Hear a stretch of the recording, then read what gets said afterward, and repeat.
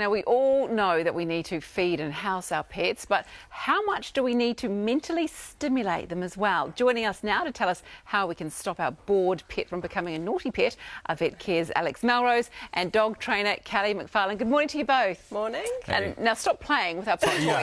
yeah, Alex, we'll get to those a little bit later. I think I failed. you probably did. Kelly, is it true that if a pet is understimulated, it can lead to a bit of bad behaviour?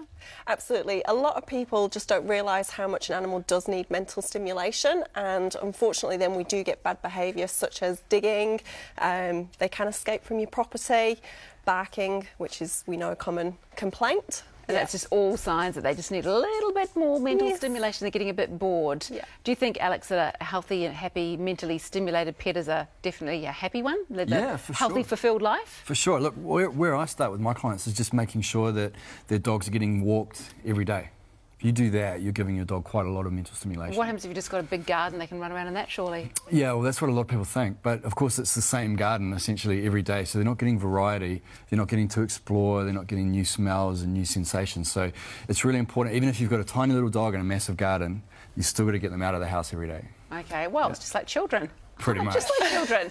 Kelly, you've brought some games in that Alex has failed at, but yes. dogs and cats can actually pass these. What exactly are they? Is it an IQ test? Because we both might fail this. What are they? Um, so real, these are quite, well, this one's a little bit more difficult, but little solitaire yeah. games. Yeah. And you put the treats in the little holes.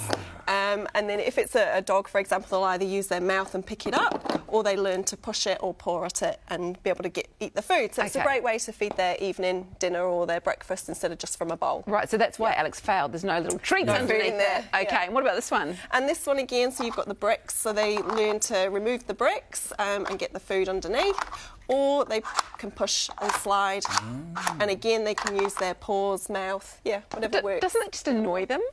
No, they love it. They Do they? love it, yeah. I mean, Sizzle now, my little dog, he um, he's got about four or five games now, and yeah, he loves figuring them all out. And so. that's how you feed him his meal by yes. making him play with his food. Yeah. This oh. is the fastest one now. He's figured this one out so quickly. Okay, and yeah. even fish like to play as well, don't they? They do. Yeah, take yes. a look at this. so your fish does nothing. Until now. Okay, tell me what's going on here.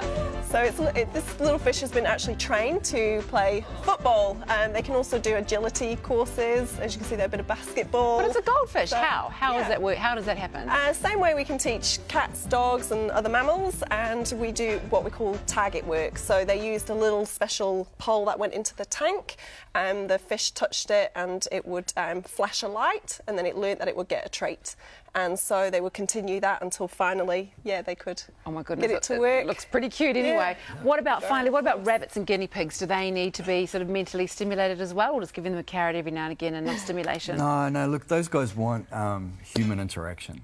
You know, especially rabbits are becoming much more popular now as we're, you know, short on space in our housing and stuff. Yeah. And um, a lot of people have them just like you would think of a cat or dog, and they'll get very interactive, they'll get very calm, they want to hang out in the house, yeah. they'll get quite bossy.